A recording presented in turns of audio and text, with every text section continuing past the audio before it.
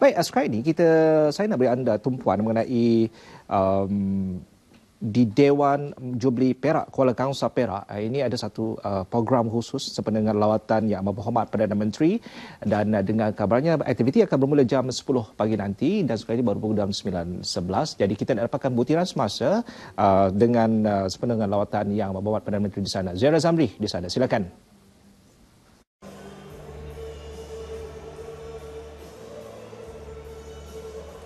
Terima kasih rakan setugas Syam Salih dari Angkasa Puri. Saya kini berlintas langsung dari Dewan Jubli Perak Kuala Kangsar bersempena dengan Majlis Penyampaian Bantuan Khas Kejatuhan Harga Getah 2016. Dan uh, majlis ini dijangka akan bermula jam 10 pagi nanti di mana akan dirasmikan oleh Yang Amat Berhormat Datuk Seri Muhammad Najib Tun Abdul Razak. Dan uh, turut serta dalam uh, majlis ini juga Yang Berhormat Datuk Seri Ismail Sabri Yaakob yang merupakan Menteri Luar Bandar dan wilayah. Dan uh, objektif bagi uh, majlis ini tidak lain tidak bukan adalah untuk membantu uh, pekebun kecil yang dikatakan terjejas pendapatannya akibat kejatuhan harga getah yang uh, sangat ketara.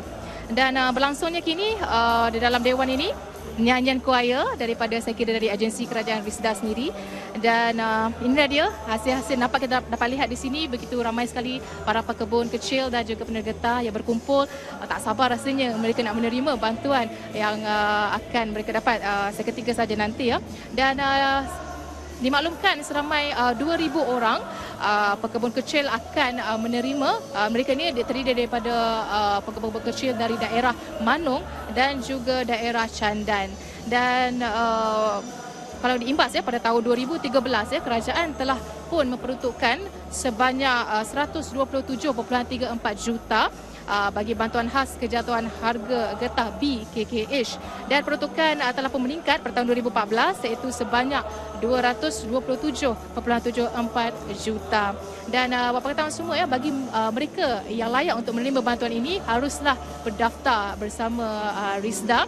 Dan uh, mereka akan menerima bantuan secara one off sebanyak berapa nilainya itu kita akan nantikan sama-sama yang akan diumumkan uh, oleh Yang Amat Berhormat Perdana Menteri nanti ya dan um, dimaklumkan juga uh, total bilangan uh, pekebun kecil yang akan menerima bantuan adalah seramai 388,111 orang. Hmm itu ramai sekali dan uh, kalau kita ikutkan ini merupakan satu inisiatif kerajaan dalam membantu untuk pekebun kecil kita uh, penoreh getah kita ya dalam menghadapi uh, kejatuhan harga getah yang begitu merundum sekali dan diharap dengan bantuan yang diberikan ini sikit sebanyak akan uh, membantu untuk mengurangkan kos uh, beban kos hari hidup yang membelenggu kita semua. Jadi saya kira sampai di sini sahaja uh, laporan dari Dewan Jubli Perak Kuala Kangsar. Kita kembali ke Ansapuri ke Angkasapuri bersama rakan setegar saya Hani. Silakan Hani.